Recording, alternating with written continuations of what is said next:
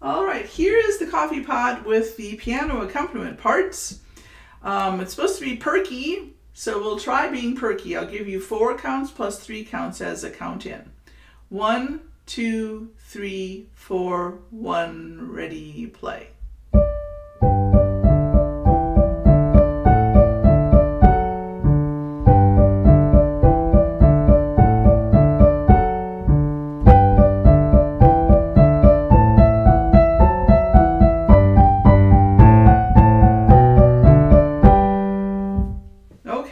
Now don't be confused. The right hand part of the duet is playing eighth notes, which is two notes for every one note that you play.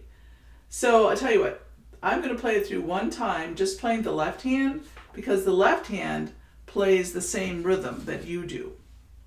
Okay? In fact, I'll try to play. No, I won't. Um. I'll try to play your part and my left hand part at the same time, and then I'll play it one more time with the full duet part. One, two, three, four, one, ready, play.